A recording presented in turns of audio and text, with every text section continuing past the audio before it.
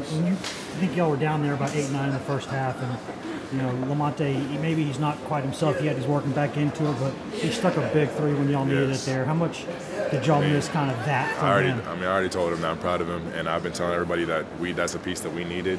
And I'm so glad he's back because he's won us some games last year. I mean, there's some games last year that we don't win without him. So it's just it's so fantastic to have him back and to see that his mental is starting to get back there and his shoulders starting to get back right. And, I mean, we're just our whole team's starting to come together. So.